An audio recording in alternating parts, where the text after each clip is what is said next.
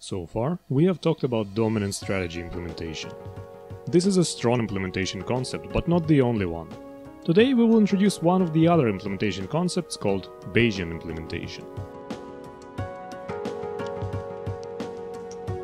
As with dominant strategy implementation, we define this new concept within the framework that we call the general model.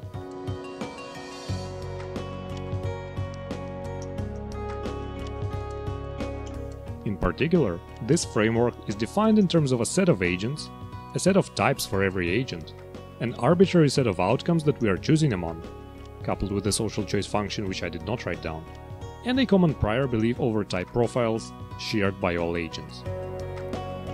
One thing I forgot is agents' utility functions that map outcomes and type profiles into utility values. With Bayesian implementation, we take an interim perspective rather than an ex post perspective in case of dominant strategy implementation, meaning that we now have to keep track of the beliefs that every type of every player has about other players' types. To that end, we assume that all players start with a common prior belief over type profiles, and then employ Bayes' rule to update this belief once they observe their own type.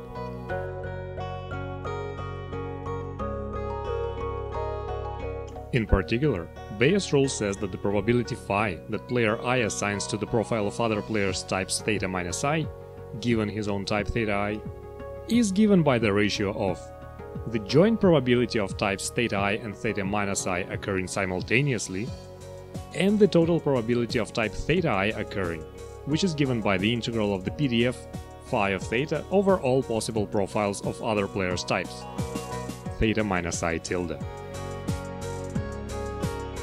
Now that we have defined the setting we work in, the next step towards introducing an implementation concept is introducing the equilibrium concept that will be used in this implementation concept.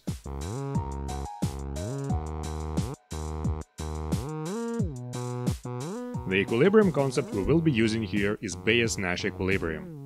This equilibrium is composed by a strategy profile A star, where each player's strategy maps their types into their action set, which is prescribed by the mechanism. And this strategy profile is such that every type of every player must find it optimal to play the equilibrium action, rather than any other action.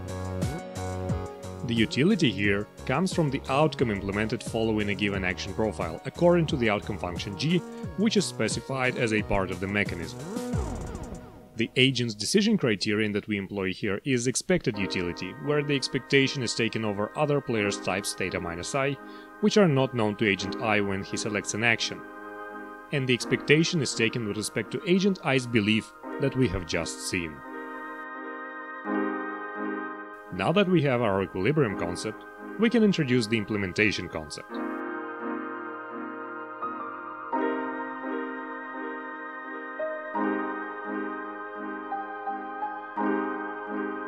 We will say that mechanism gamma implements social choice function f in Bayes-Nash equilibrium, if the game induced by mechanism gamma has a Bayes-Nash equilibrium that leads to the same outcome as the one prescribed by f for any type profile theta.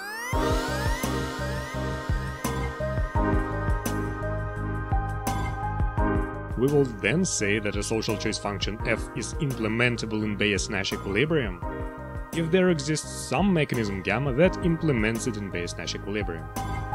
To clarify, the first definition here has to do whether a given mechanism gamma implements a given social choice function, while the second definition asks whether there is any mechanism gamma that implements this given social choice function. Now that we have introduced our new implementation concept, we can also restate the revelation principle for Bayesian mechanisms. The first definition on this path is that of truthful implementation.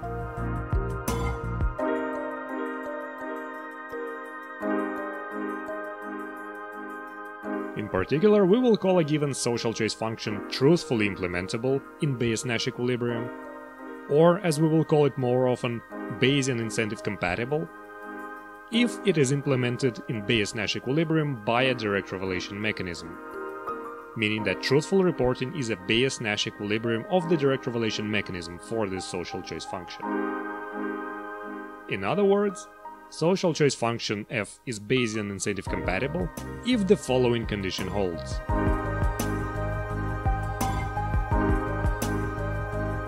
For all players and their types, the expected utility from reporting own type truthfully to the mechanism is at least as large as from any possible misreport.